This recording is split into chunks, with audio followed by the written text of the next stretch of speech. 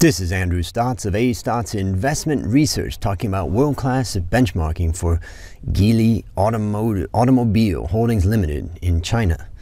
Mm, this is listed on the Hong Kong Stock Exchange.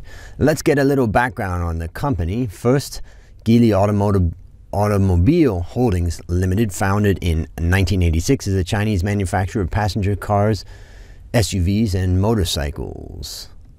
The company is the owner of Volvo and plans to add another brand, Lynk and Company, in 2017. It is the second largest car manufacturer in China, with around 97% of its cars being sold domestically.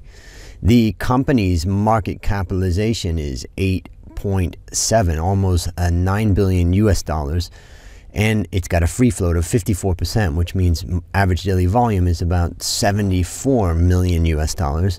And it's got a 1.6 beta, meaning it's very volatile relative to the market. And if we look at what's going on, Geely's Automobile Holdings Limited is 42% owned by Zhejiang Geely Holdings Group. Its portfolio consists of 30 models from low, medium to medium segment sedans, such as New Vision and GC9, and the premium Emgrand series to creations for the recently fast expanding van sector. The company's sales network comprises 1,000 dealers and 1,000 service stations across China and 540 sales and service stations in 43 countries. Most of the vehicles are sold in country, meaning in China, with a small portion of exports going mostly to Saudi, Sri Lanka, Belarus, uh, Cuba, and Egypt which together stood for more than 81% of its total exports. The purchase of Volvo cars by Zhejiang Geely uh, Holdings Group for 1.8 billion in 2010 was the biggest foreign car acquisition in China and by a Chinese firm. Since then, it has launched plants in China and the collaboration began. The company's commitment to new energy vehicle strategy, which was announced in November 2015, this will leverage on Volvo's experience, expertise to produce electric and hybrid cars and to achieve 90% of sales from this type of cars by 2020. And let's check the sales breakdown as of first half 2016.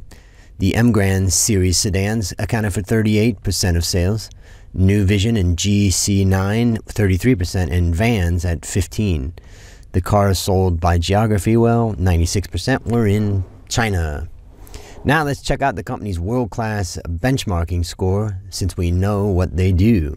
First of all, we start with the chairman of the company, and the chairman started in June of 20, 2005, Mr. Li Shufu. And we can see that the CEO has been there since 2006, Mr. Gui Shengyue.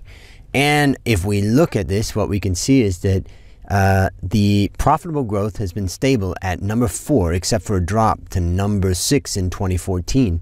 It's ranked among the best 496 of 1,240 large consumer discretionary companies.